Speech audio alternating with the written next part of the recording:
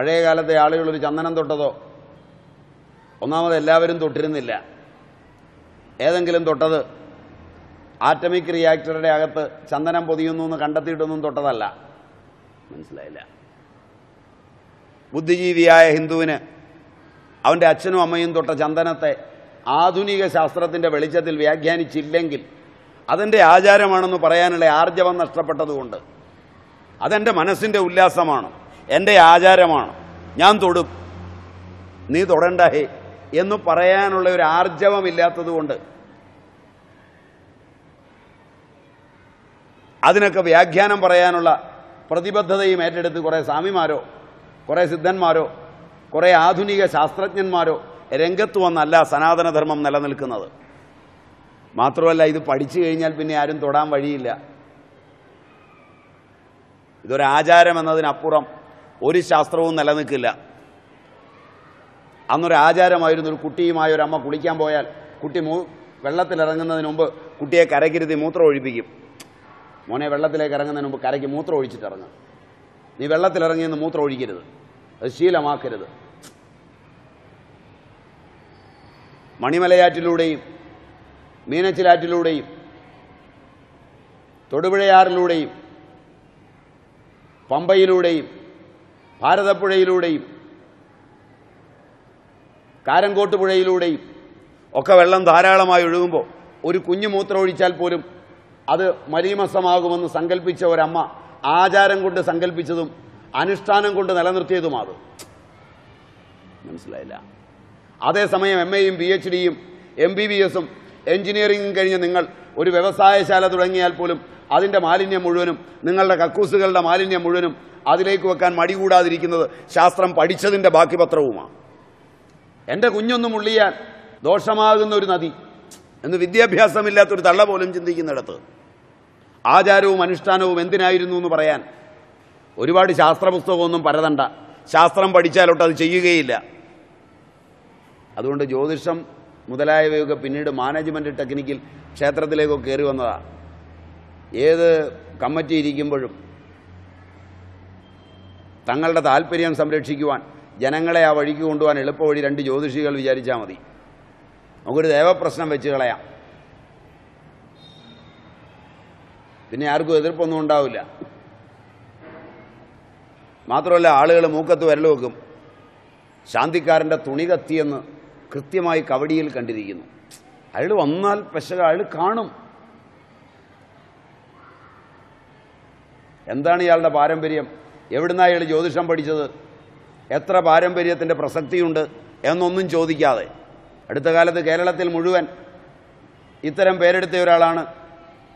ഒരു സിനിമാ നദിയോ നടിയോട് ബന്ധപ്പെട്ട് ഒരുപാട് ഉപക്ഷേപങ്ങൾക്ക് കാരണമാവുകയും മാനസികമായി തളരുകയും ശാരീരികമായി തളരുകയും ഒക്കെ കഴിഞ്ഞ് പുനരുജ്ജീവിച്ചു വന്നത് എന്നുള്ളത് ചരിത്ര പശ്ചാത്തലത്തിൽ വീണ്ടും അപഗ്രഥിക്കാവുന്നതാണ്. ഇതൊക്കെ പഠിക്കുമ്പോൾ വളരെ ശ്രദ്ധിക്കണം. ഇതൊക്കെയാണ് സനാതനധർമ്മമെങ്കിൽ അത് നിലനിൽക്കില്ല. അതിന് പ്രസക്തിയില്ല. ഇത് മാറുന്നതാണ്. സനാതനമായ ഒന്നുണ്ട്. അതിനെ അവലംബിച്ചാണ് ഭാരതീയ ചിന്ത വന്നിട്ടുള്ളത്. അത് ശ്രൗതവും സ്മാർത്ഥവുമാണ്. നിങ്ങൾക്ക് നട്ടലുണ്ട്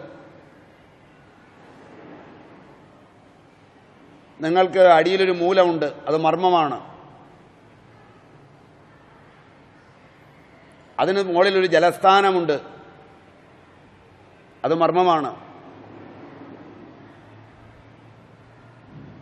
നിങ്ങളിലേക്ക് താപനിലയെ വർദ്ധിപ്പിച്ചു തരുവാനുള്ള ഒരഗ്നിസ്ഥാനമുണ്ട് അതിന് മുകളിലെത്തിയാൽ ഒരു വായവ്യ സ്ഥാനമുണ്ട്. അതിന് മുകളിൽ ഒരു ആകാശമുണ്ട്. പഞ്ചഭൂതങ്ങൾ ഇങ്ങനെ അടുക്കോടെ ഇരിപ്പുണ്ട്. താത്വാശ്രിതങ്ങളായ അവയ്ക്ക് വികാസപരിണാമങ്ങളുണ്ട്. അതൊരത്ഭുതവുമില്ലാതെ ഒരു സിദ്ധിയും കൂടാതെ സ്വന്തം പ്രാണനിലൂടെ സഞ്ചരിച്ചാൽ കണ്ടെത്താവുന്നതാണ്. പ്രാണായതനമായ ഈ ശരീരത്തിൽ ബാഹ്യമായ പ്രാണനും ആന്തരികമായ പ്രാണനും തമ്മിലുള്ള ബന്ധത്തിലാണ് ഇത് നിലനിൽക്കുന്നത്. എന്നുവരെ അതിനെ വേണ്ട വിധത്തിൽ കൊണ്ടുപോകുമോ? അന്നുവരെ ജീവനുണ്ടാവും. ഒരു ബാഹ്യമായ ഈശ്വരനെ അനുകൂലിച്ചാലും എതിർത്താലും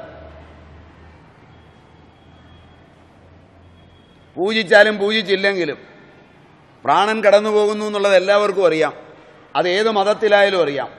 ഒരു മതം ഒരു തരത്തിൽ ഈശ്വരനെ വിശ്വസിക്കുന്നു അതിന്റെ മഹത്വമൊക്കെ പറയുന്നു എന്നുള്ളതുകൊണ്ട് മറ്റൊരു മതം ഇവന്റെ നന്മയ്ക്ക് വേണ്ടി ഈശ്വരനാൽ നശിപ്പിക്കപ്പെടുന്നില്ല ലോകത്തൊരിടത്തും അതുകൊണ്ട് തന്നെ മതങ്ങൾ തട്ടിപ്പാണ്.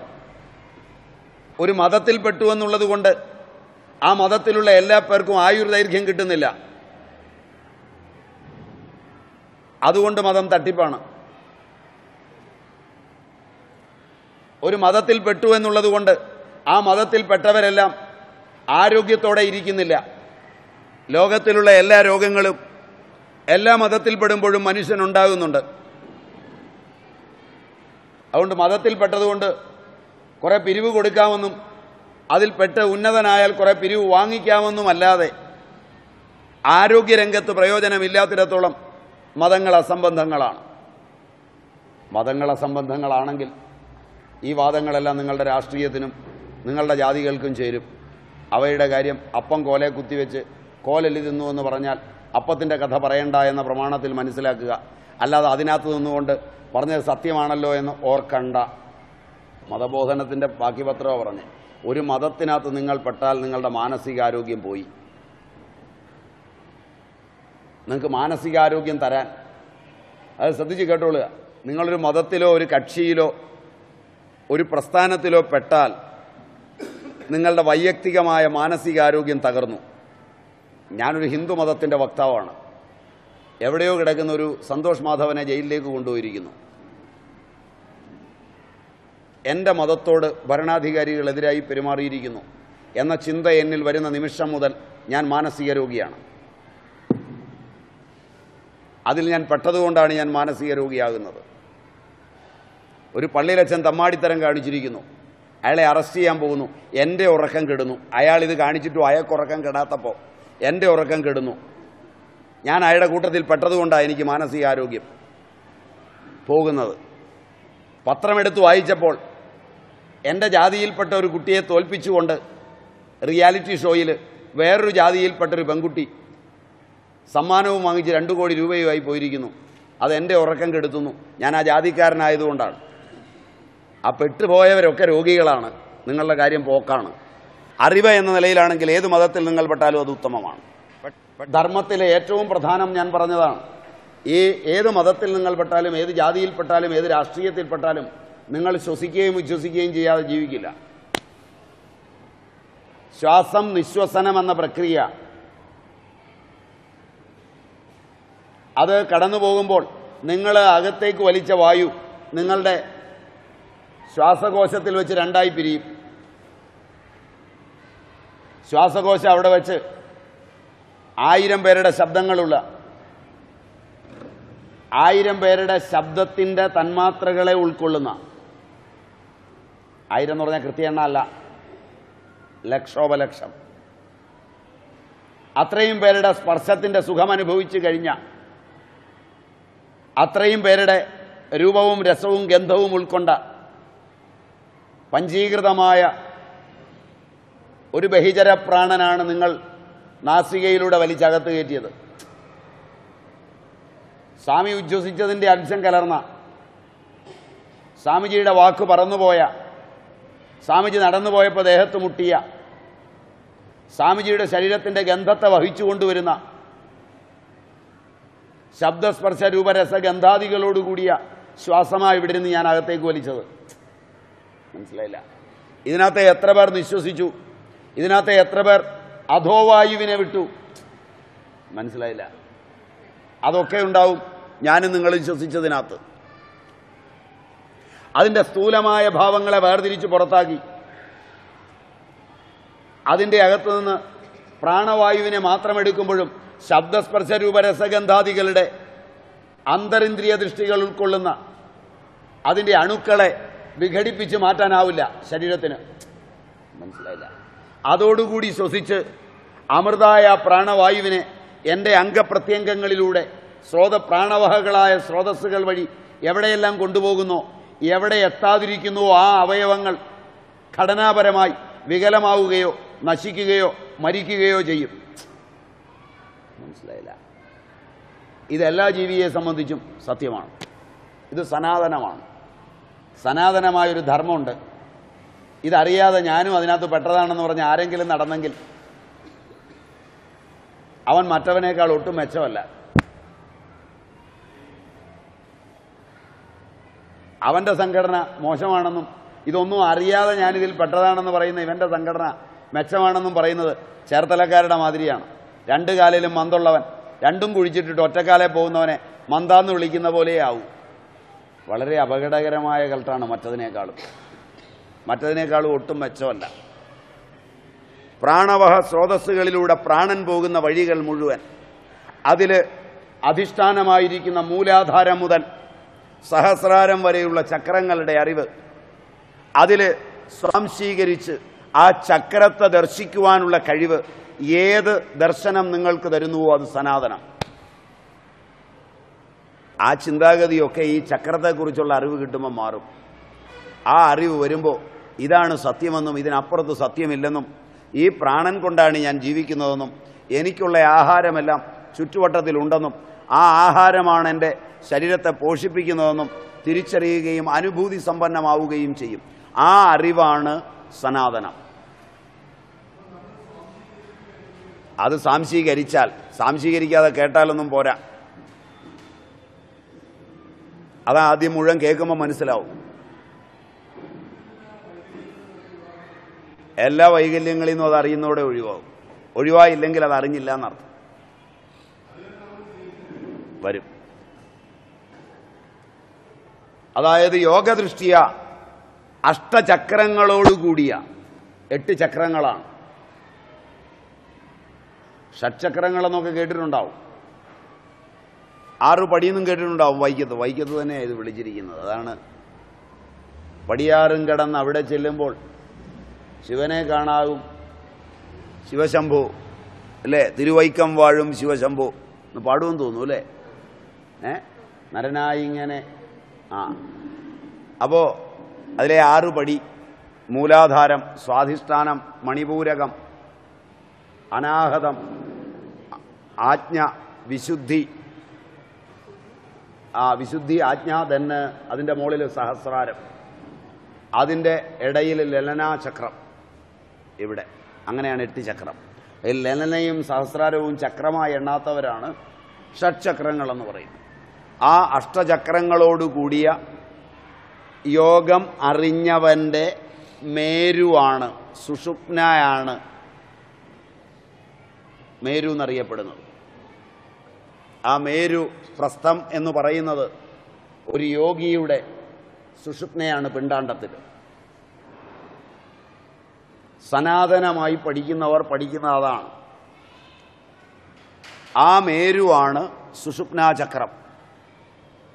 അത് രണ്ടായി പിരിഞ്ഞത് അറിവില്ലായ്മ വന്നപ്പോഴാണ്. അറിവുള്ള കാലങ്ങളിൽ ദേവതാ അധിവാസ ഭൂമിയായ ഉത്തമോത്തമമായ ക്ഷേത്രം സപ്താകാര ക്ഷേത്രം തത്വജ്ഞാനിയെ സംബന്ധിച്ചിടത്തോളം ഹിരണ്യഗർഭ ബിന്ദുരൂപമായ പ്രകൃതി പുരുഷ യോഗാവസ്ഥ. അതാണ് ആ മേരു. അതിനെ കണ്ടെത്തുകയും അനുഭവിക്കുകയും അതിൽ സാൽമ്യമായി നിലകൊള്ളുകയും ചെയ്യുക എന്നതാണ് സനാതനധർമ്മത്തിന്റെ നില. അതൊരു കാലത്തും മാറില്ല. ആ യന്ത്രത്തിന്റെ അവസ്ഥാന്തര ഭേദങ്ങൾ യവന സംസ്കൃതിയിലും ഈജിപ്തുകാരുടെ സംസ്കൃതിയിലും എല്ലാം പ്രകൃതി പുരുഷ യോഗാവസ്ഥ ലിംഗമായി. കണ്ടിട്ട് തന്നെയുണ്ട്. അതിൽ നിന്നാണ് എല്ലാ മതങ്ങളും രൂപാന്തരപ്പെട്ടത്. അതുകൊണ്ട് മതങ്ങൾക്ക് മാതാവും സനാതനധർമ്മം തന്നെയാണ്. എന്ന് പറഞ്ഞാൽ ഹൈന്ദവതയാണെന്നല്ല അർത്ഥം. ഈ സന്ദേശമാണ്. ഇത് പാശ്ചാത്യരെയും ആകർഷിച്ചിട്ടുണ്ട്.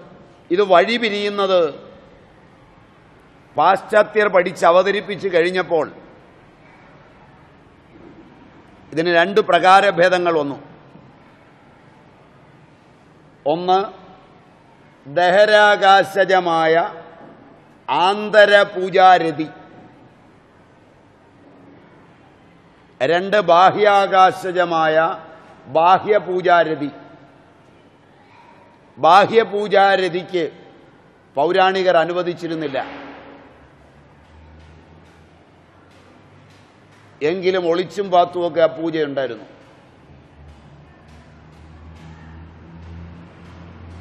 കാലാന്തരത്തിൽ അറിവില്ലായ്മ വന്നപ്പോൾ ബാഹ്യപൂജാരതി വർദ്ധിക്കുകയും ബാഹ്യപൂജാരതിക്ക് ആന്തരപൂജാരതിയേക്കാൾ അംഗീകാരം ലഭിക്കുകയും ബാഹ്യപൂജാരതിയിൽ തൽപരരായവരുടെ എണ്ണം കൂടുകയും അതിന്റെ വിധാനീയതയ്ക്ക് അംഗീകാരം നൽകുകയും ചെയ്തു. ഇവിടെയായി പരിണാമം. പാശ്ചാത്യരെയും ഇത് ആകർഷിച്ചിട്ടുണ്ട്. അങ്ങനെയാണ് ആർദർ ആവലന്റെ ദ സർപ്പൻ പവർ ഒക്കെ ഉണ്ടായത്. ഷഡ്ചക്ര നിരൂപണം പാതുകാ പഞ്ചകവും അത് അദ്ദേഹത്തിന്റെ പുസ്തകമാണ്.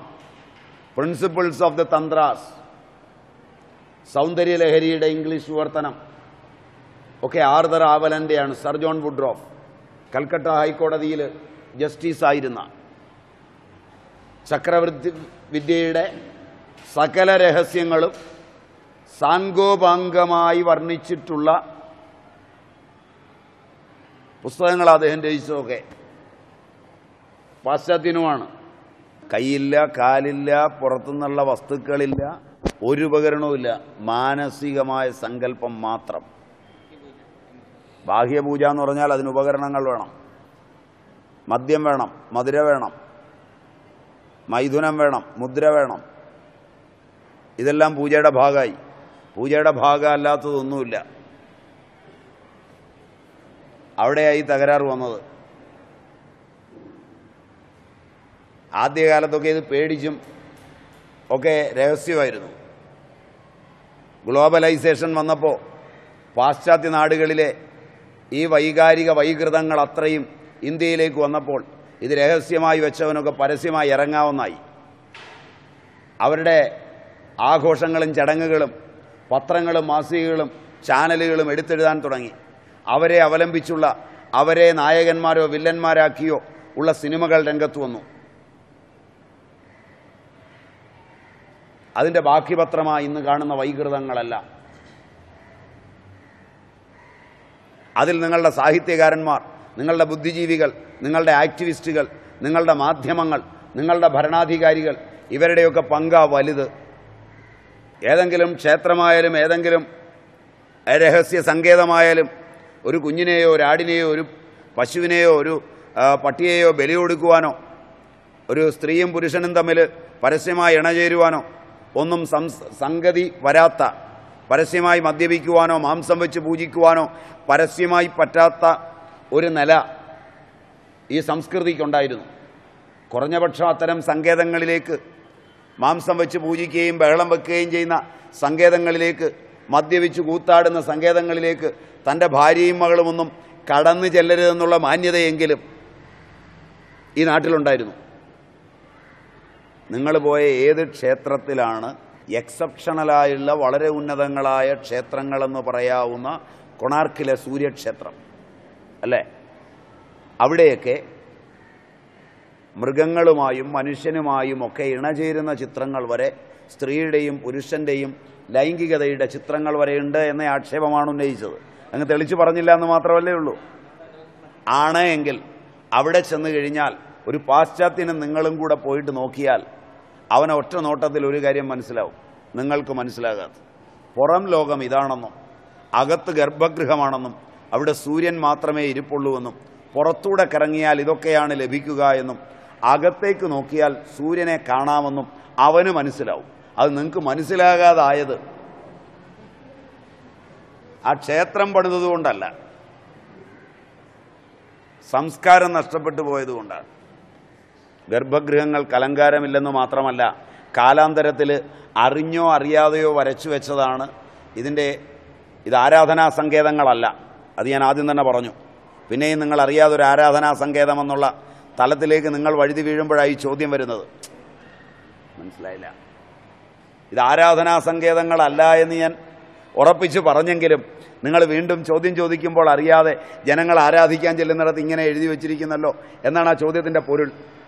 അത് ഞാൻ ആദ്യം പറഞ്ഞ ഉത്തരം കൊണ്ട് തന്നെ കടന്നുപോയതാണ് എങ്കിലും ഇനി അതിനെ ഒരു ആരാധനാ സങ്കേതമാക്കിയേ തീരൂ എന്ന് നിങ്ങൾക്ക് നിർബന്ധമാണെങ്കിൽ തന്നെ അതിന്റെ പുറത്തായി വരച്ചു വെച്ചിരിക്കുന്നത്. ആരാധനയ്ക്ക് വച്ചിരിക്കുന്ന ശ്രീകോവിൽ തുറക്കുമ്പോൾ കാണുന്ന ചിത്രമല്ല അവിടെ സൂര്യനെയാണ് കാണുന്നത്. സൂര്യക്ഷേത്രത്തിൽ. അതിന് ചുറ്റുമാണ് കാണുന്നത്. അപ്പോൾ ചുറ്റും കാണുന്നത് ഇന്ന് ബുദ്ധിയുണ്ടെങ്കിൽ മനസ്സിലാക്കാവുന്നത് പുറം ലോകത്തേക്ക് കണ്ണു തുറന്നു വെച്ചാൽ അവിടെ കാമിനി കാഞ്ചനങ്ങളും കാമതത്വങ്ങളായ മുഹൂർത്തങ്ങളും മാത്രമേ ഉള്ളൂ ഏതൊരുവൻ കണ്ണുകൾ അഞ്ചിനെയും ഒളിമുലെല്ലാം പഴമഞ്ചുമുണ്ട് നാറുന്നളികയിലേറി നയേന മാറിയാടും കിളികളെ അഞ്ചും അഴിഞ്ഞു കീഴ്മറിക്കും തിരു ഉരുവേന്തി അകം വിളങ്ങിടേണമെന്ന് നാരായണ ഗുരു പറഞ്ഞതുപോലെ ഈ അഞ്ച് കിളികളെയും അരിഞ്ഞു കീഴ്മറിച്ചാൽ അകത്തുള്ള സൂര്യനെ കാണാം. പുളി തിന്ന് ശീലിച്ച ഒരാളിന് കഴിഞ്ഞ ജന്മത്തിൽ തിന്ന പുളിയുടെ ആയാലും ശരി.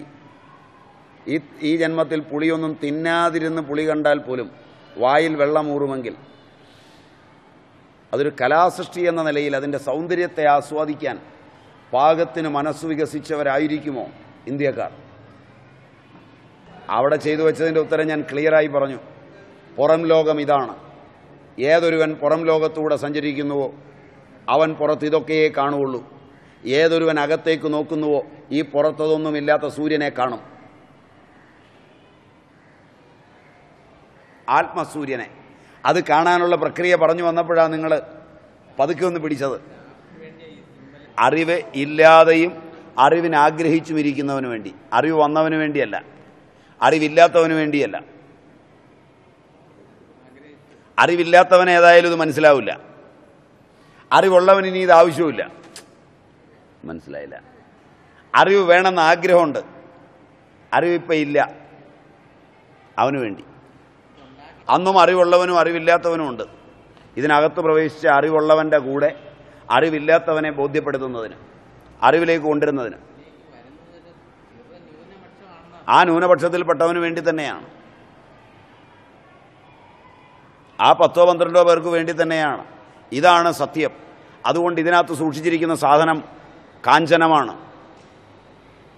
ഇത് ഭണ്ഡാരമാണ്. ഇതിനകത്ത് നിങ്ങൾ ആദ്യം പറഞ്ഞ മറന്നുപോയോണ്ടായി സംശയം വരുന്നത് ഇതിനകത്ത് സൂക്ഷിച്ചിരിക്കുന്നതും സ്വർണവും വെള്ളിയൊക്കെയാണ് അത് കൈയിട്ട് വാരാൻ നിനക്ക് ആഗ്രഹം തോന്നും. അതിലാഗ്രഹം നിനക്ക് ജനിക്കുന്നത് നിന്റെ അജ്ഞാനം കൊണ്ടാണ്. അജ്ഞാനമായി കാണുന്ന ചിത്രം മുഴുവൻ. ഇതൊന്നുമല്ല ജീവിതം. നിന്റെ അകത്തിരിക്കുന്ന സൂര്യനാണെന്ന് അകത്തിരിക്കുന്നവനെ ബോധ്യപ്പെടുത്താൻ. ആ അറിവുള്ളതുകൊണ്ടാണ് ക്ഷേത്രങ്ങളിൽ വെച്ചത് അവിടെ ഇരുന്നത്. അതില്ലാതെ പോയതുകൊണ്ടാണ് ഭരണാധികാരിയും ശാന്തിക്കാരനും ജ്യോതിഷിയും ഒക്കെ ചേർന്ന് മോട്ടിച്ചത് പഴയകാലത്ത് ഒരു ക്ഷേത്രത്തിനും ഫിസിക്കൽ പ്രൊട്ടക്ഷൻ ഇല്ല. കോട്ടയുണ്ട് പക്ഷേ ഫിസിക്കൽ പ്രൊട്ടക്ഷൻ പുറത്തുനിന്ന് വരുന്ന ഇത് അറിവില്ലാത്ത മറ്റ് രാജ്യാക്കന്മാർക്ക് വേണ്ടി മാത്രമാണ്. ആ നാട്ടുകാരിൽ നിന്ന് എന്ത് ഫിസിക്കൽ പ്രൊട്ടക്ഷൻ ആയിരിക്കുന്നത്? അതിനകത്ത് ഇതെല്ലാം കൊണ്ട് സൂക്ഷിച്ചു എന്ന് അറിയുമ്പോഴും അവിടെ ആകെപ്പാടെ എഴുന്നേറ്റ് നിൽക്കാൻ ശേഷിയില്ലാത്ത ഒരു പൂജാരി രാവിലെ മുതൽ പട്ടിണി ഇരുന്ന് പൂജ ചെയ്യുക മാത്രമായിരുന്നു അല്ല പോലീസും പട്ടാളവും അതിനകത്തില്ല. ആ പട്ടാളങ്ങൾക്ക് ചെലവ് കൊടുത്ത കണക്ക് ജനാധിപത്യത്തിലും ബ്രിട്ടീഷുകാരുടെ കാലത്തുമേ ഉള്ളൂ. അതുകൊണ്ടാണ് ഇന്ത്യ പിടിച്ചെടുക്കാൻ അവർക്ക് കഴിഞ്ഞതും. നിങ്ങൾ വിഷയം കൊണ്ടുപോകുമ്പോൾ നിങ്ങൾ പ്രത്യേകം ശ്രദ്ധിക്കേണ്ടത് അടുക്കോടെ ചിന്തിച്ചാൽ ഇന്ത്യയുടെ കണക്കെടുത്ത് നോക്കിയാൽ ഇന്ത്യയുടെ ചരിത്രം എടുത്ത് നോക്കിയാൽ എത്ര ശതമാനം നിങ്ങളുടെ പഴയ കാലങ്ങളിൽ ഖജനാവിലെ പണം പട്ടാളക്കാരെ തീറ്റിപ്പോറ്റാൻ വേണ്ടി വിനിയോഗിച്ചു. മഹാഭാരതം ക്ഷേത്രം സംരക്ഷിക്കാനായിരുന്നില്ലല്ലോ. കുടുംബങ്ങളുടെ വഴക്കായിരുന്നല്ലോ. ആ കാലഘട്ടം ഇതുപോലൊരു കാലഘട്ടമാണ്. വളർന്ന് വികസിച്ച് നിൽക്കുന്ന കാലഘട്ടം. ധർമ്മം നഷ്ടപ്പെട്ട കാലഘട്ടം. ധാർമ്മികമായ ചേതന നൽകുന്ന ഒരു കാലങ്ങളിലും പട്ടാളം ആവശ്യം വരില്ല. അറിവുള്ളവന്റെ ഇടയിൽ പട്ടാളത്തിന്റെ ആവശ്യം എന്താ? അതല്ലേ വേണം അത് നിങ്ങളെ ഒരു സ്ഥലത്തെ സാധനം എടുത്ത് വേറൊരിടത്തേക്ക് ക്ലബ് ചെയ്യുന്നു. അത് നിങ്ങളുടെ ദൂരാന്വയ ദോഷം കൊണ്ടാണ്. പകരം നിങ്ങൾ ചിന്തിക്കുന്നവരാണെങ്കിൽ വത്സന്റെ കുട്ടിക്കാലത്ത് കോഴി പട്ടി പൂച്ച എല്ലാം കയറി ഇറങ്ങി നടന്നിരുന്ന വത്സന്റെ വീടുകൾ അല്ലെങ്കിൽ പരിചയക്കാരുടെ വീടുകൾ എടുത്ത് നോക്കിയാൽ പത്ത് ഏക്കറിനകത്തും അഞ്ച് ഏക്കറിനകത്തും ആ ഒരു വീട്. അതിനകത്ത് ഒരുപാട് സാധനങ്ങളൊക്കെ മേടിച്ചുകൊണ്ട് വെച്ചിട്ടുണ്ടെങ്കിലും ഇന്നത്തെ പോലെ ഒരു കള്ളനും കയറിയിരുന്നില്ല ചെമ്പുപാത്രവും എല്ലാം മുറ്റത്താണ് കിടന്നത് എന്നിട്ട് കള്ളം കയറിയിരുന്നില്ല എപ്പോഴാണോ പട്ടാളങ്ങൾ ഉണ്ടായത്? എപ്പോഴാണോ ചെലവ് കൊടുത്തത്? എപ്പോഴാണോ അതിന് കാവൽക്കാരുണ്ടായത്? അപ്പോഴാണ് കള്ളം കൂടിയത്? അപ്പോഴാ കള്ളനും പോലീസും കൂടെ കളിക്കാൻ തുടങ്ങിയത്. അപ്പോൾ ഞാൻ അറിയുന്നിടത്തോളം വളരെ കൃത്യതയുള്ള ഒരു സനാതന ധർമ്മം ഇത് നിലനിർത്തി പോന്നിരുന്നു. അത് ദഹരാകാശജം ബാഹ്യാകാശജം എന്ന് രണ്ടാണ്. അതിലെ ബാഹ്യാകാശജത്തിലാണ് മദ്യം മതിര വിഗ്രഹം അതുപോലെ തന്നെ ജലഗന്ധ പുഷ്പാദികൾ ധൂപദീപ നിവൈദ്യാദികൾ എല്ലാം വന്നിട്ടുള്ളത്. അതിന്റെ ഭാഗമാണ് നിങ്ങൾ പറഞ്ഞ ചുറ്റുമുള്ള എഴുത്തുമെല്ലാം. ദഹരാകാശജമായ ബാഹ്യാകാശജമല്ലാത്ത ദഹരാകാശജമായ അന്തസ്ഥ പൂജയിൽ ഈ ഉപകരണങ്ങളൊന്നുമില്ല. പത്ത് പൈസയുടെ ചെലവില്ല. അത് സനാതനമാണ്. അതിന് നശിക്കുന്ന ഒരു ദ്രവ്യവും ഉപയോഗിക്കുന്നില്ല. ഋഗ്വേദത്തിലെ ദേവീസൂക്തത്തിലും യജുർവേദത്തിലെ ശ്രീസൂക്തത്തിലും എല്ലാം സ്രൗതമായി ചക്രവിദ്യയുടെ രംഗപ്രവേശമുണ്ട്. ചാദ്നോക്കിയ ഉപനിഷത്തുകളിലാണ് അതിന്റെ വ്യാഖ്യാനം തന്നെയുള്ളത്. ഉപനിഷത്ത് വ്യാഖ്യാനവും സംഹിത വ്യാഖ്യേയവുമാണ്. മുമ്പ് പറഞ്ഞിട്ടുള്ളതൊക്കെ കേട്ടിട്ടുള്ളവർ ആരെങ്കിലും ഇരിപ്പുണ്ടെങ്കിൽ ഞാൻ ഇത്തരുണത്തിൽ മാറ്റി പറയുന്നുണ്ടോ എന്ന് കൂടെ നോക്കിക്കോണം. ഉപനിഷത്തുകൾ വ്യാഖ്യേയവും വ്യാഖ്യാനവും സംഹിത വ്യാഖ്യേയവുമാണ്. അതുകൊണ്ട് ശ്രീസൂക്തം മുതലായ സംഹിതാഭാഗങ്ങളിൽ ചക്രവിദ്യ കാണാം. അതിന്റെ വ്യാഖ്യാനം സ്പഷ്ടമായി കാണുന്നത് ചാന്തോഗ്യാദി ഉപനിഷത്തുകളിലാണ് തന്ത്രഗ്രന്ഥങ്ങളിലും സൗന്ദര്യലഹരി മുതലായ സ്തോത്രഗ്രന്ഥങ്ങളിലും വ്യാപിച്ചു കിടക്കുന്നുമുണ്ട്. ഉപാസകൻ ആവോളം സേചനം ചെയ്യാൻ പാകത്തിന് ചക്രവിദ്യയിലുണ്ട്. അതുകൊണ്ടാണ് രണ്ട് രീതികൾ അതിന് ബന്ധപ്പെട്ട് വന്നത്. ഒന്ന് സമയാചാരം അഥവാ ആന്തരപൂജാരതി. ഒരു പൈസയുടെ സാധനം വാങ്ങിക്കാൻ പോണ്ട. അതാണ് ഭാരതീയർ പുലർത്തിപ്പോന്നത് സാധാരണ ജനങ്ങൾ. അത് പുലർത്തിയ പണ്ഡിതന്മാർ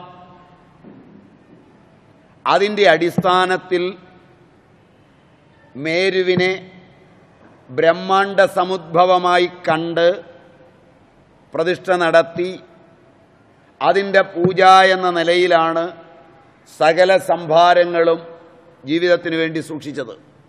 അവയാണ് ഭാരതത്തിലെ പ്രാചീന ക്ഷേത്രങ്ങളെല്ലാം.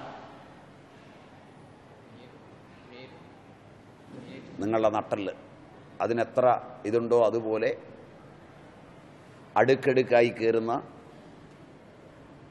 എട്ട് ചക്രങ്ങളോടുകൂടിയ ആറ് ചക്രങ്ങളോടുകൂടിയ രണ്ടുമുണ്ട്. ചില മേരുവിൽ ഷഡ്ചക്രോപരി സംസ്ഥിതയാണ് വൈന്ദവസ്ഥാനത്തിൽ ദേവി. അങ്ങനെയുള്ള മേരുവിനെ പ്രതിഷ്ഠിക്കും. മേരു എന്ന് പറഞ്ഞാൽ നട്ടൽ സുഷുപ്ന. അത് ശരിക്കും യോഗിയുടേതാണ്. ഹൃദയാകാശത്തിൽ അഥവാ ദഹരാകാശത്തിലുള്ള ചക്രപൂജ ദഹരാകാശജം. സമയാചാര തൽപരർ ഇതിനെ സമയപൂജ എന്ന് പറയും. ബാഹ്യമായി പീഠം മുതലായത് വെച്ച് അതിന്മേൽ ഭൂർജപത്രാദികൾ വെച്ച് ശുദ്ധവസ്ത്രം സ്വർണത്തകിട് വെള്ളിത്തകിട് മുതലായവയിൽ ചക്രം എഴുതി ദ്വിമാനമായോ അതല്ല മേരു സൃഷ്ടിച്ച് ത്രിമാനമായോ പൂജിക്കുന്നത് ബാഹ്യാകാശജം. ഇത് കൗളം. ഇതിനെയാണ് കൗളമതം എന്ന് പറയുന്നത്. ഇത് വളരെ ഒതുങ്ങി നിന്നിരുന്ന മതമാണ്. ത്രിമാനജം എന്ന് പറഞ്ഞാൽ സിമെന്റ് കൊണ്ടോ കല്ലുകൊണ്ടോ മണ്ണുകൊണ്ടോ മേരു ഉണ്ടാക്കും എന്നിട്ട് മോളിൽ നിന്ന് പടമെടുക്കുമ്പോൾ മോളിൽ കാണുന്ന ദ്വിമാന പടമാണ് ശ്രീചക്രമായ വരച്ച് കാണുന്നത്. അഞ്ച്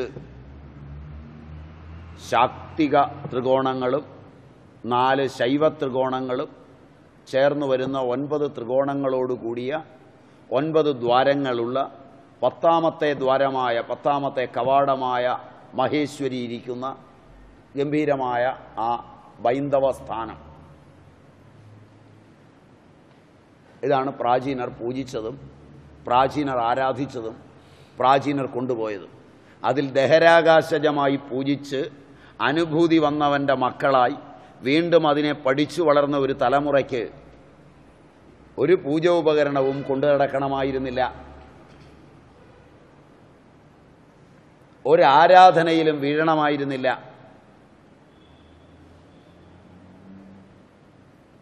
അവൻ പ്രാണനിലൂടെ കടന്നു പോകുമ്പോൾ കൃത്യമായി പ്രാണബന്ധനം സാധിച്ചിരുന്നു. ഇതാണ് അതിന്റെ വ്യത്യാസം. അപ്പോൾ ശൈവചക്രങ്ങൾക്കും ശാക്തചക്രങ്ങൾക്കും അന്യോന്യം അഭേദ്യമായ അഭേദ്യമായ സംബന്ധമുണ്ട് എന്നറിയുന്നവൻ ശ്രീചക്രത്തെ അറിയുന്നവനാണ്. അത് വച്ചിട്ടാണ് ആ ആരാധനാക്രമം നിലനിന്നിരുന്നത്. കൃത്യമായ ലൈനിൽ പോകാൻ ഇഷ്ടമാണെങ്കിൽ നമുക്ക് ആ ലൈനിൽ തന്നെ പോകാം അല്ല അതിന്റെ ഒരു വൈകാരികത മതിയെങ്കിൽ ഞാനൊരു ഇടിയൻ അടിച്ചതെന്ന് വിടാം. ഭുജംഗാകാരൂപേണ മൂലാധാരം സമശ്രി സമാശ്രിത ശക്തി കുണ്ടലിനീ നാമ വിസന്തു തനീ ശുഭ നിദാ നിഭാ ശുഭ എന്നാണ് പറയുക.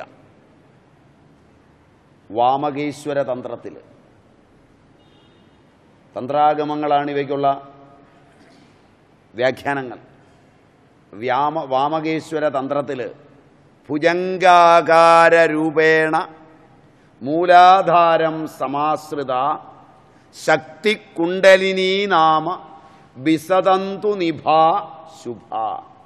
മിന്നൽ പിണർ പോലെ. പ്രഭയോടുകൂടിയ ക്ഷണപ്രഭയോടുകൂടിയും ഇടയ്ക്കിടയ്ക്ക് നിങ്ങളുടെ ഈ മൊബൈൽ മിന്നുന്ന പോലെ മിന്നും. ആ മിന്നൽ മറ്റേ ടവറുമായിട്ടുള്ള ബന്ധത്തിന്റെയാണ് മനസ്സിലായില്ല. ഏ? ആ മിന്നലുണ്ടെങ്കിൽ മനസ്സിലാക്കാം റേഞ്ച് ഉണ്ട് എന്ന് മനസ്സിലാക്കാം മനസ്സിലായില്ലേ? ഇതുപോലെ കേന്ദ്രത്തിൽ നിന്നുള്ള ഒരു മിന്നൽ പിണർ പോലെ മൂലാധാരം സമാശ്രയിച്ചിട്ട് മിന്നൽ കൊടി പോലെ മിന്നുമ്പോഴാണ് വിഷയലോകങ്ങൾ ഉണ്ടാകുന്നത്. അല്ലാതെ പുറത്തുള്ളത് കൊണ്ടുണ്ടാകുകയല്ല പുറത്ത് വസ്തുക്കൾ ഇരിക്കുന്നത് കൊണ്ട് കാണുകയല്ല. ഇരുന്നാലും ഇരുന്നില്ലെങ്കിലും ഈ ബന്ധമുണ്ടെങ്കിൽ കാണും. മനസ്സിലായില്ല. ഇരിക്കുന്ന വസ്തുവിനെയാ കാണുന്നതെന്നുള്ളതിന് ഉറപ്പില്ല. മിന്നൽ പിണർ പോലെ ക്ഷണപ്രഭയോടുകൂടിയും താമരനൂലിനോട് സാദൃശ്യമുള്ളതും കുണ്ടലിനി എന്നു പേരോടുകൂടിയതുമായ ശക്തി സർപ്പിള രൂപത്തിൽ സർപ്പിളം. സർപ്പം സർപ്പിളം. സ്പന്ദരൂപത്തിൽ സർപ്പത്തിന്റെ പ്രത്യേകത സ്പന്ദനമാണ്. സ്പന്ദരൂപത്തിൽ മൂലാധാരത്തെ ആശ്രയിച്ച് ഇരിക്കുന്നു. അതാണ് ഇതിലേക്കുള്ള അറിവിന്റെ ആദ്യത്തെ വഴി. മൂലഗന്ധം ഭണഗ്രേണ ദൃഷ്ട്വാ കമലഗന്ധവത് മുഖേന പുച്ഛം സംഗൃഹ്യ ബ്രഹ്മരന്ധ്രം സമാശ്രിത പത്മാസനഗത स्वस्थो गुदमाकुञ्च्य साधकः वायुमूर्ध्वगतिं कुर्वन् कुम्भगाविष्टमानसः वायु स्वाधिष्ठानगतोज्ज्वलन् ज्वलनाघातभवनाघातैर् उन्निद्रितो हिराट् रुद्रग्रन्थिं ततो भित्त्वा विष्णुग्रन्थिं पिनत्यदः ब्रह्मग्रन्थिं च भित्त्वैव कमलानि भिनत्ति षट् സഹസ്രകമലേ ശക്തി ശിവേന സഹമോദതി സാജാവസ്ഥ പരാജ്ഞേയ സൈവ നിർവൃതി കാരണം. ഇതാണ് തന്ത്രം നമുക്ക് തരുന്ന പരമമായ അറിവ്. ഈ അറിവ് ആര് നിലനിർത്തുന്നുവോ ആരറിയുന്നുവോ അറിയുന്നവൻ സനാതിനിയാണ്. ഇത് മുഴുവൻ ശരീരത്തിനും മനസ്സിലുമെല്ലാം ചേർന്ന് എല്ലാ ജീവിയും അനുഭവിക്കുന്ന സാധനമാണ്. മുമ്പ് പറഞ്ഞ സർപ്പിളാകൃതിയായ താമരനൂൽ പോലെയുള്ള ആ കുണ്ടലിനി തന്റെ ഭണാഗ്രം കൊണ്ട് മനസ്സിലായില്ല. പാമ്പാകുമ്പോൾ അതിനൊരു ഭണാഗ്രം ഉണ്ടാവും. അതിന്റെ അഗ്രം കൊണ്ട് താമരക്കിഴങ്ങിനെ എന്ന പോലെ ദഷ്ട്വാ കമലകന്തവത് താമരയുടെ കന്തം കിഴങ്ങിനെ എന്ന പോലെ മൂലഗന്ധത്തെ ദംശിച്ചിട്ട് ദഷ്ട്വ ദംശിച്ചിട്ട് കടിച്ചിട്ട് മുഖം കൊണ്ട് പുച്ഛത്തെ അറ്റത്തെ സംഗ്രഹിച്ചിട്ട് ബ്രഹ്മരന്ധ്രത്തെ സുഷുപ്നാരന്ധ്രത്തെ ആശ്രയിച്ചിരിക്കുന്നു. എല്ലാ മനുഷ്യനും ഇങ്ങനെ തന്നെയാണ് അവിടെ ഇതെല്ലാവർക്കും അനുഭവിക്കാം. സാധകൻ പത്മാസനസ്ഥിതനായിട്ട് ഗുദദ്വാരത്തെ അടച്ചു പിടിച്ച് കൈകൊണ്ടല്ല സങ്കല്പം മസ്തിഷ്കത്തിൽ കൊടുത്താൽ അടയും. അശ്വിനി മുദ്രയെന്നൊക്കെ പറയും മലം വിസർജിക്കാൻ പോകുമ്പോൾ പശു ചാണകമിടുന്ന് കണ്ടിട്ടുണ്ടാവും. ഇല്ല. ചാണകമിട്ടിട്ട് ഇങ്ങനെ ഇങ്ങനെ വെക്കും. നിങ്ങൾക്ക് തിരക്കായോണ്ട് ഈ പേശിയൊന്നും ഇങ്ങനെ മൂവ് ചെയ്യാതെ പോവും. അപ്പോഴാ പിന്നെ കുറേ കഴിയുമ്പോൾ ഫൈൽസും ഭഗന്തരവും ഒക്കെ ഉണ്ടാകുന്നത്. ആ പേശിയെ മൂവ് ചെയ്യിപ്പിക്കണം. അത് ഈ ഓഫീസിലൊക്കെ സ്ഥിരമായി ഇരുന്ന് കഴിയുമ്പോൾ ഇത് അടഞ്ഞായിരിക്കുന്നത് വായു പുറത്തു പോവില്ല.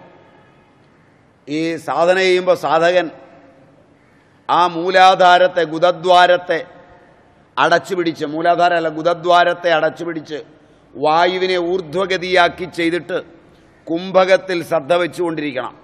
എടുത്ത ശ്വാസത്തിൽ ശ്രദ്ധ വെച്ചുകൊണ്ടിരിക്കണം. അപ്പോൾ കാണാം ഇതിലേക്ക് പോകുന്നു അങ്ങനെയാ പ്രാണായതനമായ ശരീരശാസ്ത്രം പഠിച്ചെടുക്കുന്നത്. അതിന് ജീവികളെ കൊല്ലണ്ട ശവം കീറി മുറിക്കണ്ട. ഈ പ്രാണന്റെ കൂടെ യാത്ര ചെയ്താൽ മതി. ആദ്യം പ്രാണന്റെ കൂടെ ബോധത്തെ യാത്ര ചെയ്യിപ്പിക്കണം. പ്രാണൻ പോകുന്ന വഴിക്കെല്ലാം പോയാൽ എല്ലാ സന്തുക്കളും എല്ലാ മർമ്മങ്ങളും എല്ലാം ബോധ്യപ്പെട്ട് തിരിച്ചു വരും. ശരീരശാസ്ത്രം പഠിക്കാൻ ഉള്ളത് അവളെ കീറി മുറിക്കുക അത് കഴിഞ്ഞുള്ള മനുഷ്യനെ കീറി മുറിക്കുക ഇതൊന്നും ചെയ്യണ്ട. ഇതൊന്നും ചെയ്താലോട്ട് ഓർത്തിരിക്കുകയില്ല. ഇതൊക്കെ ചെയ്ത് പഠിച്ചവന്മാരുടെ അടുക്ക ചെന്നാൽ പോലും ശരീരശാസ്ത്രവന്മാർക്ക് ഓർമ്മ വരത്തില്ല. കിഡ്നി തലയിലാണോ എന്ന് പോലും ചിലപ്പോൾ സംശയം വരും. ഇതിനൊരു പ്രക്രിയയുണ്ട്. അത് സർവസമ്മതമാണ് അപ്പൊ കുംഭകത്തിൽ ശ്രദ്ധ വെച്ചുകൊണ്ടിരിക്കണം. വായുവിന്റെ ആഘാത നിമിത്തം സ്വാധിഷ്ഠാനസ്ഥിതമായ അഗ്നി. മൂലാധാരം മണിപൂരകം സ്വാധിഷ്ഠാനം. മഹിം മൂലാധാരേ കമപി മണിപൂരേ. സ്ഥിതം കുതവഹം സ്വാധിഷ്ഠാനേ. പൃഥ്വി അപ്പ് തേജസ് എന്നെടുക്കുമ്പോൾ ചക്രം നടുക്കാണെങ്കിലും മുകളിലാണ്. അവിടെയാണ് ഈ പഠനത്തിന്റെ പ്രത്യേകത. ചന്ദ്രകലകൾ സൂര്യരശ്മികൾ അഗ്നിയുടെ നാവുകൾ ഇവയോട് ബന്ധപ്പെട്ടാണ് ഇത് വരുന്നത്. അഗ്നിയുടെ നാമ്പ് അഗ്നി ജലത്തെ കടന്ന് അഗ്നി താഴേക്ക് ചെന്ന് പ്രസരിച്ച് രൂപാന്തരപ്പെട്ടു വരുന്ന. അതുകൊണ്ട് സ്ഥാനം പറയുമ്പോൾ മൂലാധാരം സ്വാധിഷ്ഠാനം മണിപൂരകം. ഭൂതം പറയുമ്പോൾ മഹി കഴിഞ്ഞാൽ ജലവ. മനസ്സിലാ മനസ്സിലായില്ല. അതുകൊണ്ട് മൂലാധാരത്തിന് പ്രാധാന്യം. അത് പഠിത്തത്തിൽ മനസ്സിലാവും. മഹി മൂലാധാരത്തിലിരിക്കുന്നു. അഗ്നി സ്വാധിഷ്ഠാനത്തിലിരിക്കുന്നു. ജലം മണിപൂരത്തിലിരിക്കുന്നു. ആ കണക്കിന്. അതാണ് താന്ത്രിക ഘടനയുടെ വൈചിത്ര്യം ഇതാണ്. അതിന് കാരണങ്ങളുണ്ട് അത് നമുക്ക് കാണാം പിന്നീട്. അറിയാതെ പറഞ്ഞതല്ല. അപ്പോൾ വായുവിന്റെ ആഘാത നിമിത്തം സ്വാധിഷ്ഠാനസ്ഥിതമായ അഗ്നി അവിടുന്ന് ജ്വലിക്കാൻ തുടങ്ങും. ഇതാ പഴയ അമ്മമാർക്കറിയുന്ന പനിയൊക്കെ വരുമ്പം.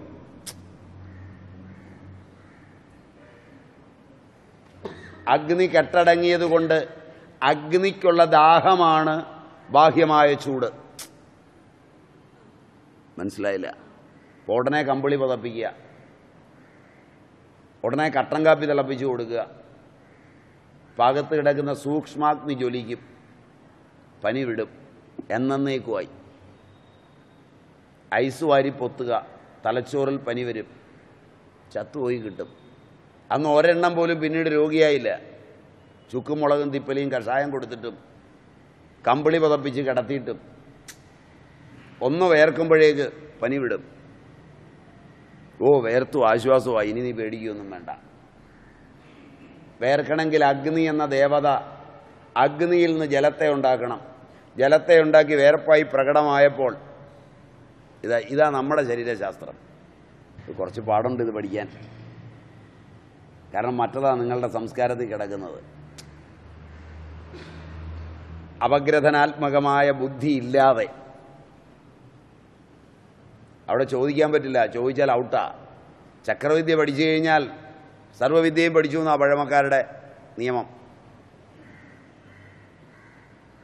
ചക്രവിദ്യയെ ഉപാസിച്ചാൽ അറിവിലെത്തി എന്നാണ്. അതുകൊണ്ട് പറഞ്ഞത് കൃത്യമായ ലൈനിൽ കൂടെ പോവുക കുറച്ച് ക്ലിഷ്ടമാണ് വായുവിന്റെയും അഗ്നിയുടെയും ആഘാതത്താൽ സർപ്പരൂപിണിയായ കുണ്ടലിനി ശക്തി നിദ്രയിൽ നിന്ന് നിന്നുണർന്നതായിത്തീരും അതുവരെ ഉറങ്ങിക്കിടക്കും. അത് അതിലൊരു വെട്ടലുണ്ടാകുമ്പോഴാ ഈ ലോകത്തിലെ എല്ലാ അറിവും ഉണ്ടാകുന്നത്. എല്ലാ അറിവും ഉണ്ടാവില്ല. ബാഹ്യവും ആഭ്യന്തരവും എല്ലാമായ അറിവ്. അറിവ് മുഴുവൻ അവിടുന്നാണ് ഇപ്പൊ പറഞ്ഞ പോലെ. മൂല ഗുദദ്വാരത്തെ അടച്ചു പിടിച്ച് വായുവിനെ ഊർധ്വഗമാക്കി ചെയ്ത് കുംഭകത്തിൽ ശ്രദ്ധ വെച്ചുകൊണ്ടിരിക്കുക. എടുത്ത ശ്വാസത്തിൽ ശ്രദ്ധ വച്ചിരിക്കുക. വായുവിന്റെ ആഘാതം ഉണ്ടാവും. അപ്പം നമ്മൾ കുംഭിച്ച വായു ഉണ്ടല്ലോ അകത്ത് പിടിച്ച പ്രാണൻ അതവിടെ തട്ടും. അഗ്നിയിൽ അത് തട്ടുമ്പോൾ അഗ്നി ജ്വലിക്കും. സാറിന് വിറക് എത്തുന്ന പോലെ. അടുപ്പിലേക്ക് വായു കിട്ടിയാൽ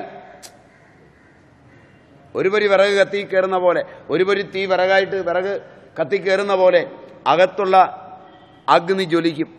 ആ അഗ്നിയും വായുവും ആഘാതം വരുമ്പോൾ ഉറങ്ങിക്കിടന്ന അതിന്റെ ചൂട് തട്ടുമ്പോൾ ഉറങ്ങിക്കിടന്ന കുണ്ടലിനി ശക്തി സർപ്പരൂപിയായ കുണ്ടലിനി ശക്തി നിദ്രയിൽ നിന്ന് ഉണരും. ഉണർന്നതിനു ശേഷം ആ കുണ്ടലിനി രുദ്രഗ്രന്ഥിയെ ഭേദിക്കും. അതാണ് ആദ്യത്തെ പണി. രുദ്രഗ്രന്ഥി വിഭേദിനി അതിനെ ഭേദിക്കും. അവിടെ നിന്നും പിന്നെ വിഷ്ണുഗ്രന്ഥിയെ ഭേദിക്കും. സ്ഥിതിഗ്രന്ഥികളാണ്. സംഹാരഗ്രന്ഥികൾ സ്ഥിതിഗ്രന്ഥികൾ.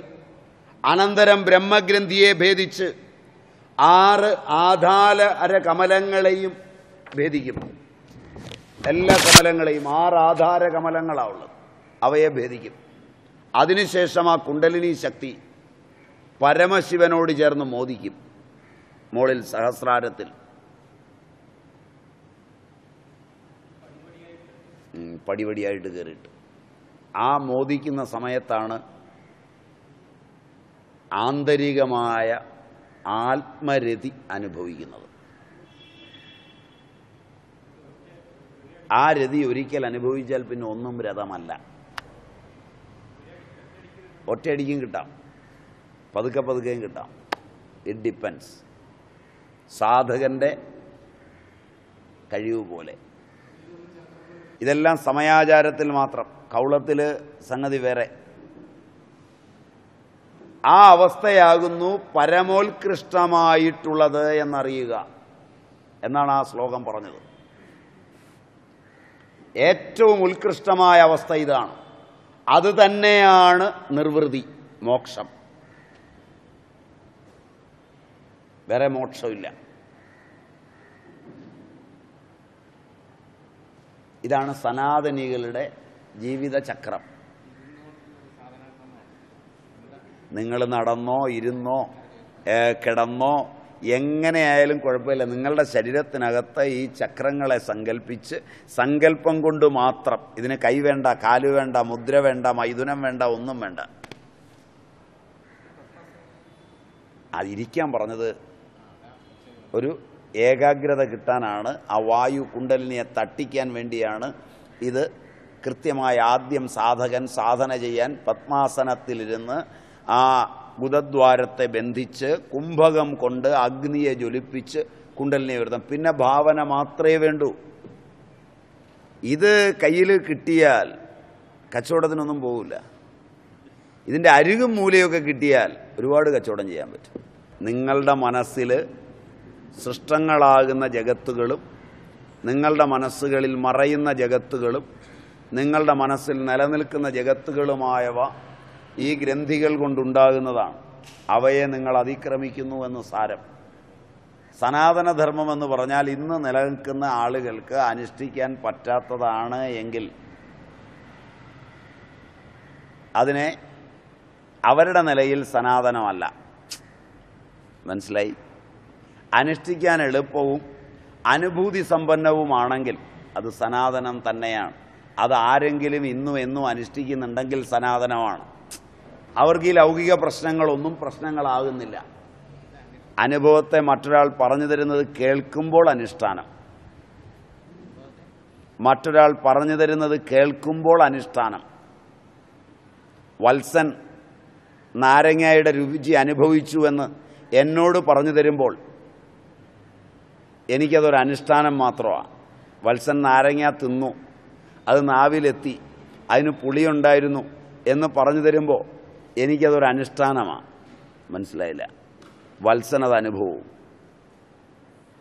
ലോകത്തെ എല്ലാം അങ്ങനെയാണ് ഭാഷ ഒരാൾക്ക് മറ്റൊരാളോട് പറയാൻ പറഞ്ഞു കൊടുക്കാൻ പറ്റുമ്പോൾ മറ്റേ കേൾവിക്കാരൻ ആ അനുഭവത്തിലേക്ക് ഭാഷ കൊണ്ട് ഉടനെ എത്തണം എന്നില്ല മനസ്സിലായില്ല. അതിന് പോയി പണിത് നോക്കണം. നിങ്ങൾ പഠിക്കുന്ന ശാസ്ത്രത്തിൽ അവിടെ ചെന്ന് തൂമ്പ എടുത്ത് കുഴിച്ച് താഴെ ചെല്ലുമ്പോൾ ഒരു മാങ്ങ കിട്ടുമെന്ന് പറഞ്ഞാൽ പറയുമ്പോൾ അത് കവിതയാ. അവിടെ ചെന്ന് കുഴിച്ച് കിട്ടിയില്ലെങ്കിൽ ഇല്ലാത്തതുമാണ് കിട്ടിയാൽ നിങ്ങൾക്ക് അനുഭവമാണ് ഇതിന് പണിയെടുക്കാൻ പറ്റാതെ ഇത് അനുഭവത്തിൽ കിട്ടണം എന്നത് നിങ്ങളുടെ ഭൗതിക നിയമങ്ങളിൽ പോലും ഒരിടത്തും ഉള്ളതല്ല. മനസ്സുകൊണ്ട് ചിന്തിച്ചാൽ മതി. പണിയെടുക്കുക എന്ന് പറഞ്ഞാൽ ചിന്തിച്ചാൽ മതി. മാത്രം മതി. ഒരു വസ്തു വരെ വാങ്ങിക്കണ്ട. വാങ്ങിക്കാൻ ഇതിനകത്ത് പറഞ്ഞില്ല. പത്ത് പൈസയുടെ സാധനം വാങ്ങിക്കരുത്.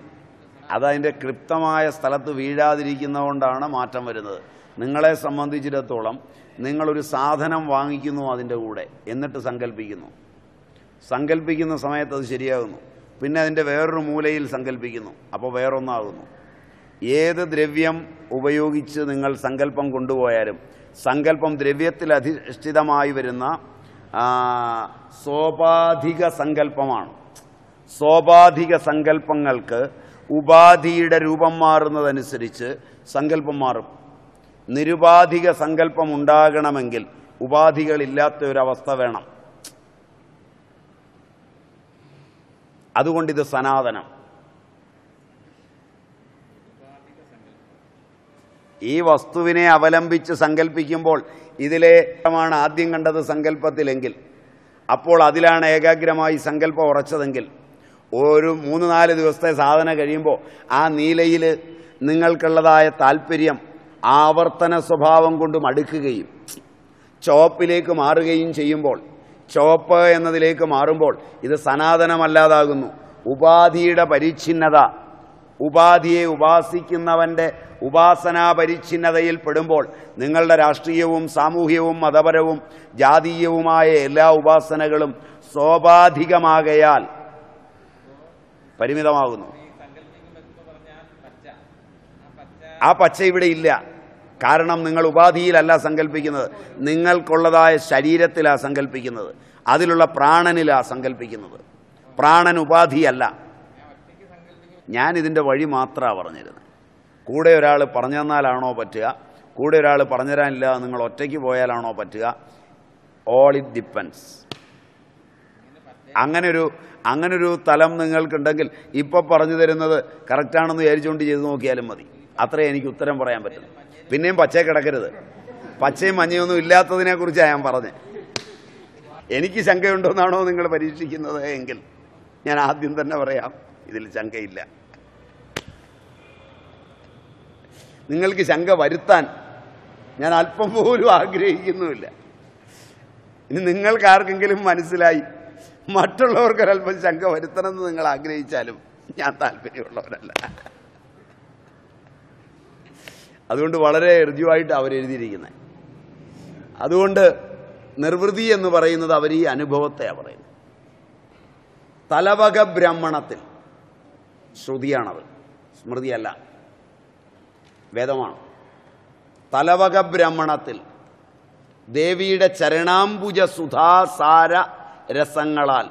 അവിടെ ദേവി എന്ന് പറഞ്ഞാൽ ദിവ പ്രകാശം എന്നേ അർത്ഥമുള്ളൂ. അല്ല നിങ്ങൾ കാണുന്ന രൂപങ്ങളൊക്കെ കണ്ടു ശീലിച്ചുകൊണ്ട് അങ്ങനെ വിചാരിക്കരുത്. നിങ്ങളുടെ അകത്തെ ബോധം. ആ സുധാധാരാസാരങ്ങളാൽ പ്രപഞ്ചസേചനത്തെ മനോമോഹനമായ പദങ്ങളാൽ പ്രതിപാദിച്ചിട്ടുണ്ട്. വായിച്ച് മനസ്സിലാക്കാൻ. അതുകൊണ്ട് സൗദസത്യത്തിന് അടിസ്ഥാനമാണ് ഇത്. ശ്രുതിയും ഇതിനോട് യോജിക്കുന്നു. വീണ്ടും പറയുന്നു തലവക ബ്രാഹ്മണം ലോകസ്യദ്വാരമർച്ചിമത് പവിത്രം ജ്യോതിഷ്മത് ഭ്രാജമാനം മഹസ്വത് അമൃതസ്യധാരാം ബഹുധാദോഹമാനം ബഹുധാ ദോഹമാനം. ശരണം നോ ലോകേ സുധിതാൻ ദധാതു തന്റെ നിവാസസ്ഥാനത്തിന്റെയോ സായുജ്യത്തിന്റെയോ സാഷ്ട്യാദിമുക്തിയുടെയോ ബ്രഹ്മലോകം തുടങ്ങിയ ലോകങ്ങളുടെയോ കവാടം പ്രാപ്യസ്ഥാനം എത്തേണ്ട സ്ഥലം അർച്ചിസുകൾ കിരണങ്ങളുള്ളത് പവിത്രം സ്വയം പവിത്രവും അന്യവസ്തുക്കളുടെ ശുദ്ധിക്ക് കാരണവും ആകുന്നു. പുറത്തുള്ളതിനെയൊക്കെ ശുദ്ധീകരിക്കുന്നത് ഈ ബോധമൊന്നാണ് എങ്ങനെയാ കാണുന്നവരെണ്ണം നല്ലതാണെന്ന് നമുക്ക് തോന്നുന്നത്? നമ്മുടെ നന്മ കൊണ്ടാ. മനസ്സിലായില്ല. അതിന്റെ നന്മ കൊണ്ടല്ല.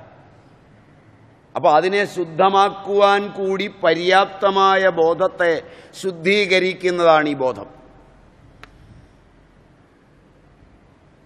അത്രയ്ക്ക് ആത്മനിഷ്ഠമായിട്ടാണ് ഇത് പോകുന്നത്. അതാ പഴയ ആളുകൾ പഠിച്ചത്. അതുകൊണ്ടാണ് പഴയ ആളുകൾ ഒരു ചായക്കടയിൽ ചെന്നാൽ പോലും പുട്ടുണ്ടോ എന്ന് ചോദിച്ചാൽ അവിടെ നിൽക്കുന്ന ചായക്കടയിൽ എടുത്തു കൊടുക്കുന്നവന് പോലും വിവരമുണ്ട്. നിങ്ങൾ ചോദിക്കുമ്പോൾ അവിടെ പുട്ടുണ്ടാക്കി വെച്ചിട്ടില്ലെങ്കിലും അവൻ പുട്ടില്ല എന്ന് പറയല അവൻ നിങ്ങളോട് പറയും ഇഡലിയുണ്ട്. ഏ, പുട്ടുണ്ടോന്ന്? ദോശയുണ്ടെന്ന് പറഞ്ഞില്ലേ? എടോ പുട്ടുണ്ടോന്നാ ചോദിച്ചത്. എടോ അപ്പമുണ്ട്. മനസ്സിലായില്ല. നെഗറ്റീവ് ഇല്ല അവസാനം നിങ്ങൾ ചോദിച്ചാൽ പറയും ഇറങ്ങടാ പുറത്ത്. രാവിലെ ഓരോരുത്തന്മാരും കുത്തിപ്പിടിച്ചിറങ്ങിയിരിക്കുന്നു. ഇല്ലാവചനം പറയിപ്പിക്കാൻ. ആ ഉണ്മയെ മാത്രമേ അവർ അംഗീകരിക്കുകയുള്ളൂ. നമ്മളിത് പഠിക്കാൻ പോയാൽ പോലും ഏതെങ്കിലും സ്ഥലത്ത് എത്തിപ്പെട്ട് കഴിഞ്ഞാൽ ഇർണാത്മകമായതാണ് നമ്മുടെ ഇതുവരെയുള്ള പഠിപ്പിൽ കിടക്കുന്നത് എന്നുള്ളത് കൊണ്ട് അവിടെ കുത്താനാണ് നമ്മൾ ഇഷ്ടപ്പെടുന്നത്. ധനാത്മക ചോദനയിൽ മാത്രമാണ് അവർ പോവുക. ഏത് സ്ഥലത്ത് നിങ്ങൾ എന്നുള്ളൂ പഴയ തലത്തിൽ ഇത് പഠിച്ചിട്ടുള്ളവരുടെ അവരോട് ചോദ്യം ചോദിച്ച് രക്ഷപ്പെടാൻ പറ്റില്ല. നിങ്ങളുടെ സങ്കല്പം പോലും തെറ്റാണെന്ന് അവർ പറയില്ല. അവരവരുടെ സങ്കല്പം പറയും. അത്ര ഋജുവായിരിക്കും ഇനി അച്ഛന അമ്മ അപ്പൂപ്പൻ മുതലായവർ ഈ വഴി പോയവരുണ്ടെങ്കിൽ ഒന്ന് പരീക്ഷിച്ചു. കൃത്യമായിട്ടറിയും. അതിൽ സംഭവിക്കുന്നത് എഴുപത്തി രണ്ടായിരം പ്രതിശാഖാനാടികളും നൂറ് നൂറ്റൊന്ന് നാടികളും നൂറ് വീതം ശാഖാനാടികളും നൂറ് ഗുണം നൂറ്റൊന്ന് ഗുണം എഴുപത്തിരണ്ടായിരം. ഹൃത്പത്മത്തിൽ നിന്ന് നൂറ്റൊന്ന് നാടികളാണ്. അതിനെല്ലാത്തിനും നൂറ് വീതം ശാഖാനാടികളാണ്. അതിനെല്ലാത്തിനും എഴുപത്തിരണ്ടായിരം വീതം പ്രതിശാഖാനാടികളാണ്. അവയിലൂടെ ആ നാഡീമാർഗങ്ങളിൽ വർഷിക്കുന്നത് തന്റെ പാദക്ഷാളനത്താൽ പവിത്രീകൃതങ്ങളും ചന്ദ്രമണ്ഡല സ്ഥിതങ്ങളുമായിരിക്കുന്ന അമൃതധാരാ പ്രവാഹങ്ങളെ വർഷിച്ചാണ്. പുറത്തെ ചന്ദ്രനല്ല അകത്തെ ചന്ദ്രൻ അകത്തെ സൂര്യൻ അകത്തെ അഗ്നി. സോമ സൂര്യാനലഹ. അതിനെ വെച്ചാണ് വൈദ്യശാസ്ത്രവും അതിനെ വെച്ചാണ് കുടുംബവും അതിനെ വെച്ചാണ് ജീവിതവും അവർ ഏകീഭവിപ്പിച്ചത്. അതാണ് വിദ്യ അവരെ സംബന്ധിച്ച്. ബാക്കിയല്ല വിദ്യ. അങ്ങനെ ആ ആചരണം ഉപാസകന്മാരായ ഞങ്ങളെ പ്രപഞ്ചത്തിൽ തൃപ്തരാക്കി. അഥവാ സഞ്ജാത ബുദ്ധിപ്രകാശകന്മാരായ സുധികളാക്കി പോഷിപ്പിക്കട്ടെ എന്നാ ഇതിന്റെ ശ്ലോകത്തിന്റെ ഏതാണ്ട് സാരാംശം. അത് എല്ലാ ധാതുക്കളിലൂടെയും ഇനി അതിന് ധാതുക പാദത്തിൽ നമ്മുടെ ശരീരത്തിൽ തൊക്ക് അസൃങ് രക്തം അസൃക് രക്തം മാംസം മേധസ് അസ്ഥി ഇത്രയും ധാതുക്കൾ. എത്ര എണ്ണമായി അഞ്ചെണ്ണം. അവ ശക്തി ധാതുക്കളാണ്. ശക്തി രൂപങ്ങളാണ്. മജ്ജ ശുക്ലം പ്രാണൻ ജീവൻ. എത്ര എണ്ണമായി നാലെണ്ണം. അവ ശൈവധാതുക്കളാണ്. ശക്തിമയങ്ങളും ശിവമയങ്ങളുമായ നവധാതുക്കളോടുകൂടിയ ദേഹം നവയോനികളിൽ നിന്നുണ്ടായതാണ്. ഒമ്പത് യോനികളിൽ നിന്ന് അവയുണ്ടാകുന്നത്. പത്താമത്തെ യോനി അധീശ്വരിയായ പരാശക്തി ബോധം. അതാണ് ബൈന്ദവ സ്ഥാനം ചിന്ത നിങ്ങൾക്ക് വഴിമാറിപ്പോകില്ലെങ്കിൽ ബിന്ദു. എല്ലാം വന്ന് ലയിക്കുന്നത്. ബൈന്ദവ സ്ഥാനം. ബിന്ദു സ്ഥാനം.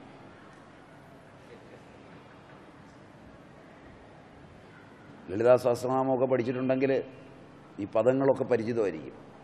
പരിചിതമാകുമെന്നേ ഉള്ളൂ കാണാ പഠിച്ച്. അർത്ഥമൊന്നും മനസ്സിലായിക്കൊള്ളണമെന്നില്ല. പക്ഷെ പദങ്ങൾ പരിചിതങ്ങളായിരിക്കും. മനസ്സിലായില്ലേ? ബിന്ദു തർപ്പണ സംയുക്ത. കേട്ടിട്ടുണ്ടാവും. അപ്പൊ അത് ശ്രോക അസൃങ് മാംസമേതോസ്തി ധാതവ ശക്തിമൂലകാഹ. ശാക്തേയങ്ങളാണ് ഈ അഞ്ചെണ്ണം. മജ്ജാശുക്ല പ്രാണ ജീവധാതവ ശിവമൂലകാഹ. അവ ശൈവങ്ങളാണ്. നവധാതുരയം ദേഹോ നവയോനി സമുദ്ഭവ. ഇവയെല്ലാം നവയോനിയിൽ നിന്ന് ഉത്ഭവിച്ചതാണ്. ദശമീ യോനിരേഖൈവ പരാശക്തി സ്തീശ്വരി അതിനെ തന്റെ ഉള്ളിൽ കാണുന്നവനാണ് കാണുന്നവനാണ് സനാതനി.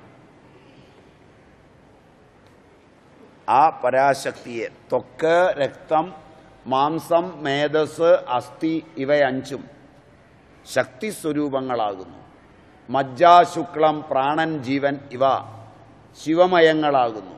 നവധാതുക്കളോടുകൂടിയ ദേഹം നവയോനിയിൽ നിന്നുണ്ടായതാകുന്നു.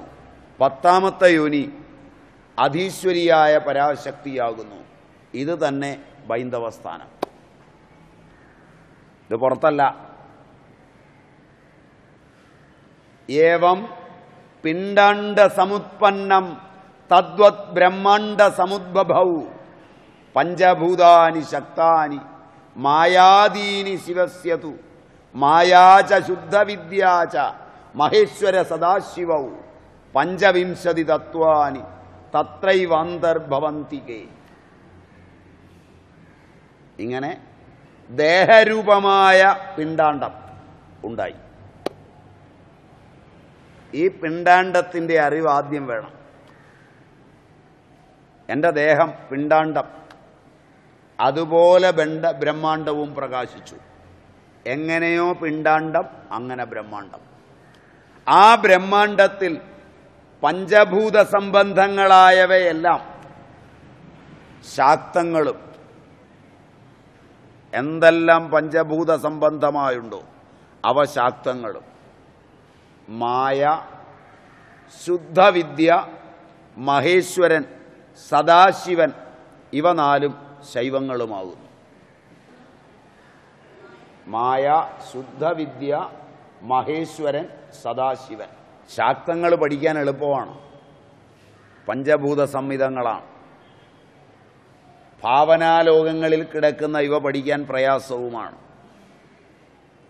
അവ ശൈവങ്ങളുമാകും പഞ്ചഭൂത സംബന്ധികൾ അഞ്ച് ജ്ഞാനേന്ദ്രിയങ്ങൾ അഞ്ച് കർമ്മേന്ദ്രിയങ്ങൾ മനസ്സ് ശബ്ദാദി പഞ്ചതന്മാത്രകൾ പൃഥിവ്യാദി അഞ്ച് സ്ഥൂലഭൂതങ്ങൾ ഇങ്ങനെ ഇരുപത്തിയൊന്ന് തത്വങ്ങളും നാല് ശിവതത്വങ്ങളും ചേർന്ന് ഇരുപത്തഞ്ച് തത്വങ്ങളാവുള്ളത് ആ ഇരുപത്തഞ്ച് തത്വങ്ങളെ ചേർത്ത് അവ ചേർന്നതാണ് ശിവശക്തിയാത്മകം വിദ്ധി ജഗതേതദചരാചരം. ചരവും അചരവുമായി എന്തെല്ലാമുണ്ടോ അതെല്ലാം. അപ്പോൾ ഈ ചരാചരാത്മകമായ പ്രപഞ്ചമെന്നത് ഇരുപത്തിയഞ്ച് തത്വങ്ങളോട് കൂടിയതാണ്. എന്നാൽ മറ്റു ചില സംഹിതകളിൽ ഈ എണ്ണത്തിന് മാറ്റമുണ്ട്. അത് നിങ്ങൾ ഹരിനാമകീർത്തനത്തിലൊക്കെ കണ്ടിട്ടുണ്ടാവും. അയ്യഞ്ചും അഞ്ചുമുടൻ അയ്യ അയ്യാറും എട്ടുമുടൻ എന്നൊക്കെ കണ്ടിട്ടുണ്ടാവും. കാരണം വായവ്യ സംഹിതയിൽ അൻപത്തിയൊന്ന് തത്വം പറയും. വേറെ ചിലയിടത്ത് മുപ്പത്തിയാറ് തത്വം പറയും. വേറെ ചിലയിടത്ത് നൂറ്റിയെട്ട് തത്വം പറയും. അതെല്ലാം ഈ ഇരുപത്തഞ്ചെണ്ണത്തിൽ ഉൾപ്പെടും. ഇരുപത്തിയൊന്നും നാലും ഇരുപത്തിയഞ്ച് എണ്ണത്തിൽ ഉൾപ്പെടും. അതുകൊണ്ടാണ് ഞാനത് ഇരുപത്തഞ്ച് എന്ന് പറഞ്ഞത്. അപ്പം ഇതിലാണ് പ്രപഞ്ചോൽപത്തി ഈ തത്വങ്ങളിൽ നിന്നാണ് ഇതിന്റെ ഉൽപ്പത്തി മുഴുവൻ. അതുകൊണ്ട് ആരൊരുവൻ ഇതിനെ തിരിച്ചറിയുന്നു പ്രപഞ്ചത്തെ ബ്രഹ്മാണ്ടത്തെ അറിയുന്നു.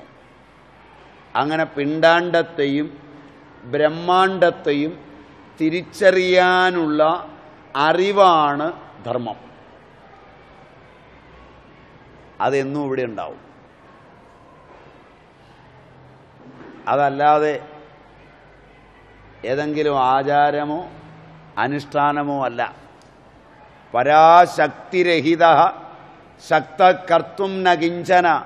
ശക്തസ്യത് പരമേശാനി. ശക്തിയായുക്തോ ഭവേദ്യതി. എന്ന് ഭംഗിയായിട്ട് പറയുകയും ചെയ്യും. ശക്തിയില്ലെങ്കിൽ ശിവനും അശക്തനായിത്തീരുമെന്ന് പറയും. അല്ലയോ പരമേശ്വരി അദ്ദേഹം ശക്തിയോട് യുക്തനായി എന്നാൽ മാത്രമേ പ്രപഞ്ച സൃഷ്ടി നടത്തുന്നുള്ളൂ. അവിടെയെല്ലാം നമ്മൾ ചെന്നെത്തുക ചക്രപൂജാരതിയിലാണ്. അത് രുദ്രയാമളത്തിൽ പറയുന്നുമുണ്ട്. തന്ത്രമാണ്. പ്രശ്നയോ മുനയ സർവേ പ്രശ്നയോ നാമ മുനയ സർവേ ചക്രസമാശ്രയാ സേവമാനശ്ചക്രവിദ്യാം. ദേവഗന്ധർവ പൂജിത വൃഷ്ണികൾ എന്നു പേരായ മഹർഷിമാരെല്ലാവരും ശ്രീചക്രത്തെ ആശ്രയിച്ചിരുന്നവരും ദേവഗന്ധർവാദികളാൽ പൂജിക്കപ്പെട്ടുന്ന ചക്രവിദ്യയെ ഉപാസിക്കുന്നവരും ആകുന്നു. ഇതിന് അവരുണോപനിഷത്ത്. അത് പഠിച്ചാൽ മതി. അരുണോപനിഷത്തിൽ ഇതിന്റെ വലിപ്പം കാണാം. പൃഥ്വി മൂലാധാരത്തിൽ അവിടെ അമ്പത്തിയാറ്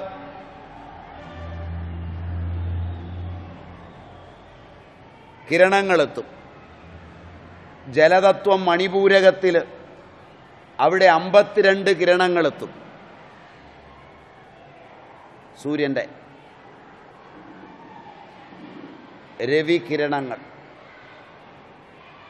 ഹൃദയാകാശത്തിൽ നിന്ന് അമ്പത്തിയാറും അമ്പത്തിരണ്ടും ചേർന്ന് നൂറ്റിയെട്ട് കിരണങ്ങളാണ് സൂര്യകിരണങ്ങൾ.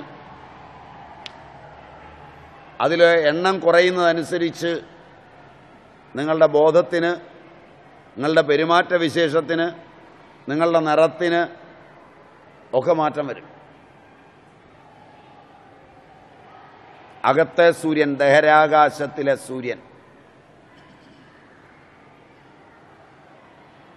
അതെല്ലാം ശാരീരികമായി അവർ പറയും. സങ്കല്പമല്ല. സങ്കല്പം കൊണ്ട് അറിയുക. അമ്പത്തിയാറും അമ്പത്തിരണ്ടും കിരണങ്ങൾ മണിപൂരകത്തിലും മൂലാധാരത്തിലുമായെത്തും.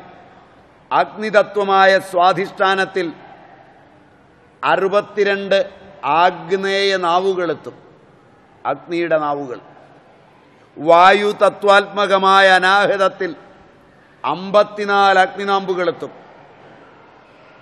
ആകാശതത്വമായ വിശുദ്ധി ചക്രത്തിൽ എഴുപത്തിരണ്ട് ചന്ദ്രക്കലകളെത്തും അതുപോലെ തന്നെ മനസ്തത്വരൂപമായ ആജ്ഞാചക്രത്തിൽ വായുതത്വം വിശുദ്ധി മനസ്തത്വം ആജ്ഞാചക്രം. അവിടെയാ മനസ്സ്. അതായത് ലലാടത്തിനും മസ്തുളങ്കത്തിനുമിടയിൽ അതാണ് ഭേളൻ ആയുർവേദത്തിലും പറഞ്ഞത്. മനസ്സെവിടെയായിരിക്കുന്നത് നിങ്ങളിങ്ങനെ തൊട്ട് കാണിക്കുക. ശരിയല്ലേ? അല്ലേ? മനസ്സ് തലച്ചോറിലായിരിക്കുക. മസ്തുളങ്കത്തിൽ മനസ്സിന്റെ ഇരിപ്പിടം അവിടെയാണ്. ഭേളനാണ് ആയുർവേദ ആചാര്യന്മാരിൽ ഇത് പ്രകടമായി പറഞ്ഞിട്ടുള്ളത്. ബാക്കിയുള്ളവരല്ല. തന്ത്രാഗമങ്ങൾ ഇതിനെ ശരിവെക്കുന്നു.